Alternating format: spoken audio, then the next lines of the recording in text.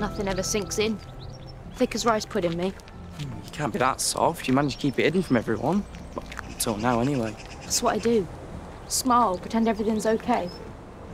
It's the way it's always been with me, whether I'm living on the streets or sitting in a classroom. We've had it easy, haven't we? Compared to you.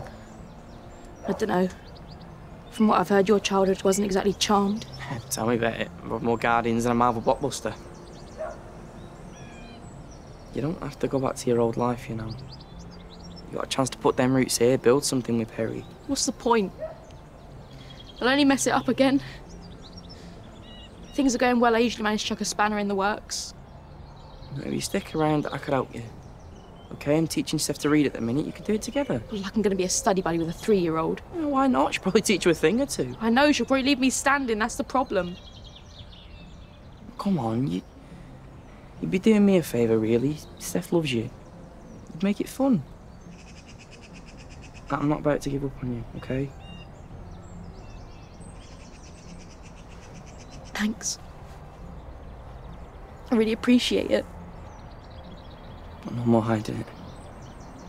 You need to start being more honest with people. Especially with Perry.